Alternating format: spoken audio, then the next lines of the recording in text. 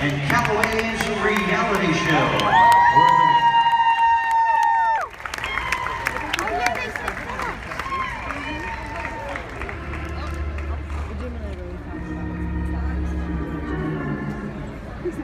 One more look and one more time to celebrate the victory tonight. The amateur three